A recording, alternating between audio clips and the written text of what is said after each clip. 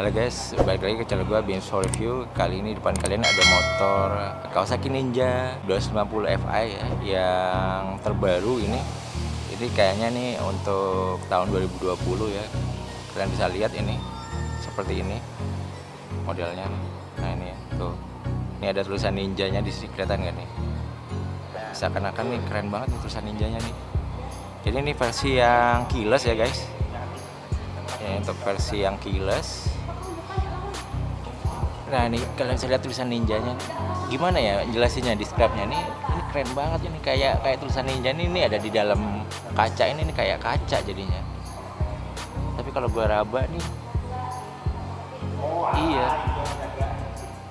Ini keren banget nih, nggak tahu nih pakai teknologi apa jadi tulisan ninjanya ada di dalam sini. Gila keren banget sumpah. Nah, kita lihat nih modelnya seperti ini, ini warna warnanya warna hitam dibalut dengan warna hijau. Kemudian ada ada warna silvernya nggak ada cuma ada silvernya sedikit nih. Ya sedikit ya. Nah ini kita lihat dari dekat guys. Nah ini kita lihat nih bedanya. Dia sudah memakai keyless ya ini seperti ini keylessnya.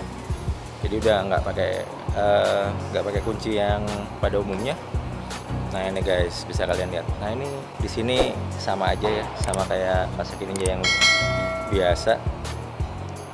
Di sini ada lampu jauh, di sini ada lampu sen, kemudian di sini ada klakson, dan di sini ada dim, dim untuk uh, ngedim ya lampu jauh.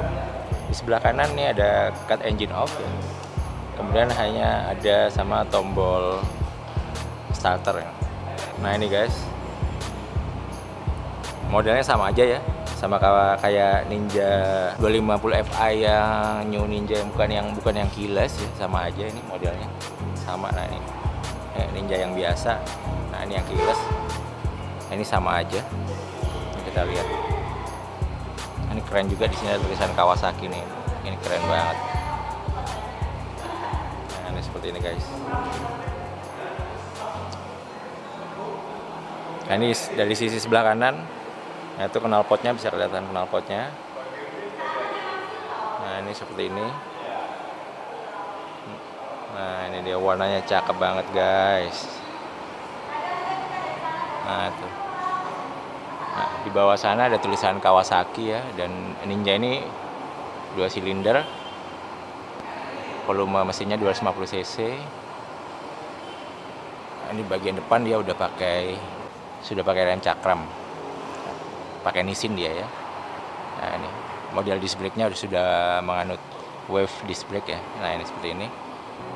Uh, suspensi depannya sayangnya dia belum upside down ya. Masih uh, suspensi yang biasa ya. Shock breakernya ini yang depan.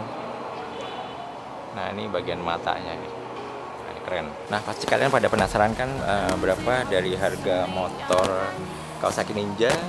25 250 Fi yang sudah keyless ini untuk harganya uh, gue cantumin uh, di bawah ini ya.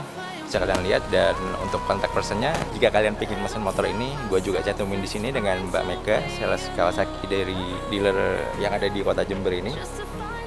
Kalian langsung bisa hubungi nomor tersebut guys Oke guys, mungkin sampai di sini dulu aja untuk video gue kali ini tentang motor uh, Kawasaki New Ninja yang uh, apa yang sudah keyless ini. Yang ini yang mana kayaknya nih untuk versi tahun 2020 ya. Semoga bermanfaat buat kalian.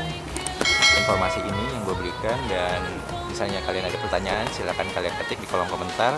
Yang terakhir jangan lupa untuk like, comment, dan subscribe channel ini. Sampai jumpa di video gue yang lain. See you bye bye guys. Thank you